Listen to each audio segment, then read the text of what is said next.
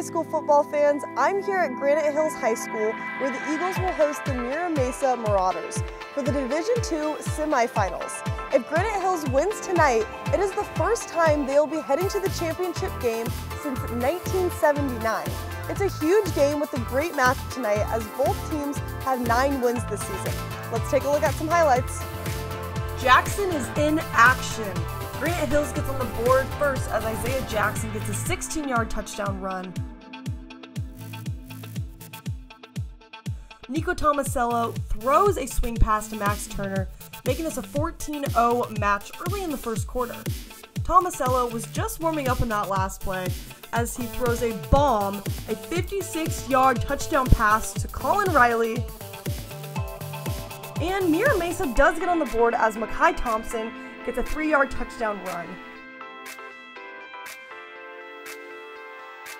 And right here, this was my favorite play of the game.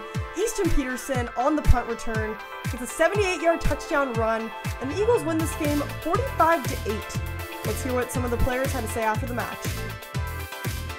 Our coach told us we had to get up early because this is a really good team. The Mira Mesa is a really good team. We all know this. But we got in there, and we got it done. That's all I have. Yes, sir. Yeah, we got it done. Isaiah, you had two touchdown passes tonight. What can you say about how locked in you were for this game? So I was injured last week, and I was just football is my thing. So I thirst for football. So it was just something in me that had to get in the touchdown. I wasn't gonna get stopped. All right, so I caught the punt, and I thought I was gonna get tackled right away, but I found a hole and I was able to run. And I saw Joaquin, and I told him to go lead block, and he was able to block the guy, and he was walking. I felt really tired. I had to go play defense right after. It was just, it was great. We're gonna go win that. Yeah. We're gonna go win that.